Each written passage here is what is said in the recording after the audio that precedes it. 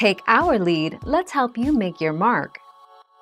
Our goal is your satisfaction. Let us show you the way.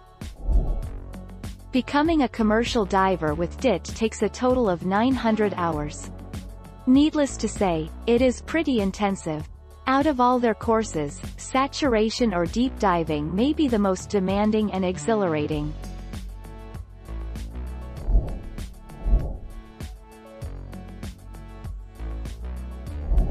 Let's help you make your mark.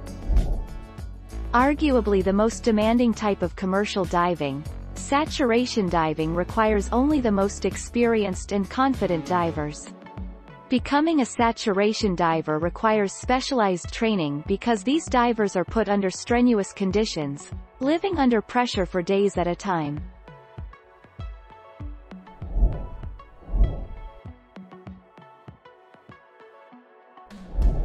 Let's help you make your mark. According to commercial divers and global statistics, the average underwater welding salary is $53,990 annually and $25.96 per hour. However, most incomes float around $25,000 to $80,000.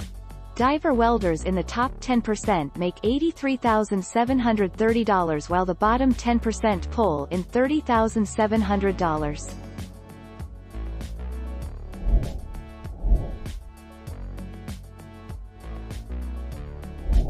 Make your mark, take our lead.